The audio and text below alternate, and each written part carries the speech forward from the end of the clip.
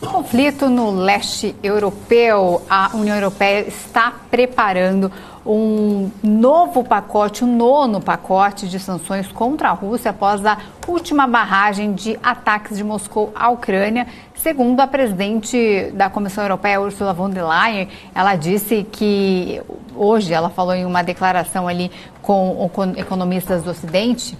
que está trabalhando duro então para atingir a Rússia, onde dói reduzir ainda mais a sua capacidade de travar uma guerra contra a Ucrânia e também pode anunciar que está trabalhando a todo vapor no nono pacote de sanções. Mais sanções, então, vem aí a Rússia.